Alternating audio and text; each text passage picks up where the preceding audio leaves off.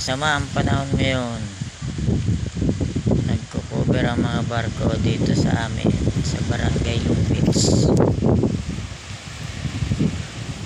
At medyo mahina rito. Pero pagdating doon sa may pulo.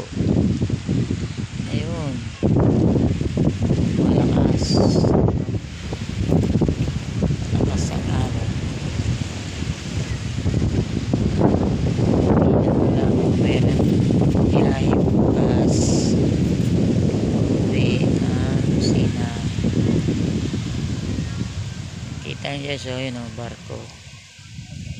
One. Yung malapit. Pangulong. Mm. Two.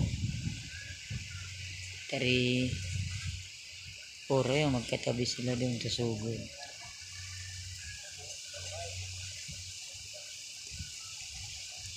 sama panahon hunas tapos hunas ara niya no kataob pa lang